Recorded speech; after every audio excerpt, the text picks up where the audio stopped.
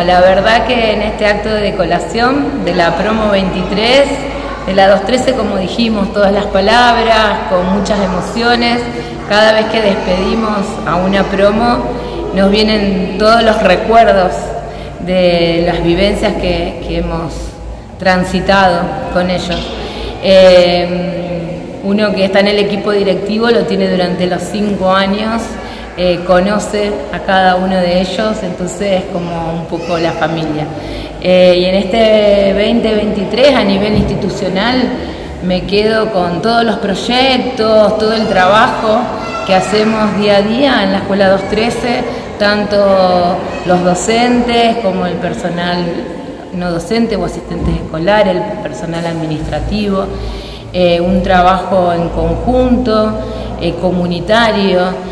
Eh, cuidando las trayectorias educativas de cada uno de, nuestros estudiantes y tratando de que aprendan lo mejor en este siglo XXI también, ayornándonos a las nuevas necesidades y capacidades, tanto sea en, en, lo laboral, en lo universitario, en lo terciario, tratando de prepararlos lo mejor posible y acompañando a todos para lo que es un derecho, que es la educación. ¿Cuántos alumnos egresaron? Egresaron 76 alumnos, 76. ¿Y el trabajo, digamos, del año, eh, digamos, llevó alguna dificultad o demás? Porque también vimos que en este 2023 hubo cambios, hubo medidas y demás. Bueno, nosotros hace mucho que venimos trabajando ya en otra, con otro, otra mirada. Nosotros venimos trabajando en aprendizaje basado en proyectos Venimos el año pasado de ganar un premio justamente como escuela innovadora. Nosotros seguimos capacitándonos eh, con docentes y fundaciones de Buenos Aires, de otras provincias, seguimos apostando a la innovación.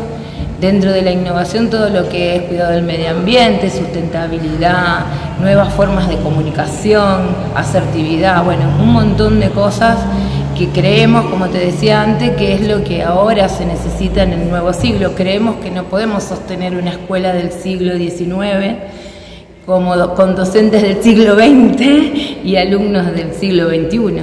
Eh, hoy en día está todo lo que es la tecnología, está todo en la mano, están las redes sociales y creemos que hay que enseñar otras habilidades, otros conocimientos, sin dejar obviamente aquellos que son base eh, para, para, todo lo que es la, vida humana y trabajamos mucho también en el tema emocional, de salud mental, que es otra cosa que nos preocupa mucho en este tiempo, mm, aparte luego de la pandemia que sufrimos, que bueno, ahora es como que también vamos viendo muchos problemas asociados a eso. Bien, si bien el docente, bueno, los chicos se egresan, pero el docente sigue trabajando.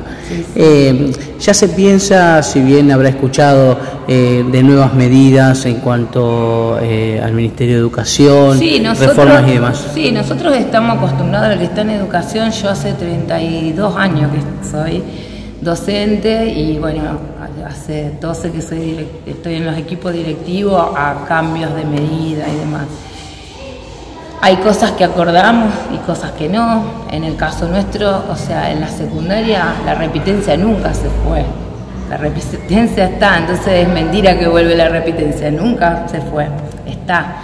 Que hay trayectorias que son sostenidas, intermitentes, nulas y que la verdad que la educación secundaria es obligatoria y no hace mucho que es obligatoria y que todavía hay muchos adolescentes fuera del sistema educativo y que abandonan la escuela secundaria es una realidad. Entonces que tiene que haber políticas educativas relacionadas al sostenimiento de los adolescentes dentro de la escuela, que es donde deberían estar, creemos que es necesario.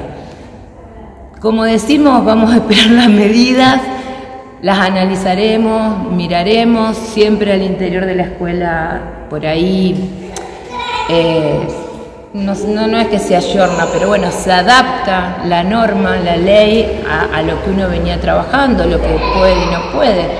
Pero bueno, como decía, vamos a esperar a ver lo que, se, lo que pasa ahora, o sea, no es novedad para nosotros. Eh, nosotros sí estamos dentro de secundario de avance, que es algo que también está en peligro de que se termine. Bueno, lo haremos hasta febrero, que es cuando se cierra. Y después veremos, veremos a ver qué podemos sostener y qué podemos luchar porque estamos convencidos de que eso es para el bien de nuestros estudiantes.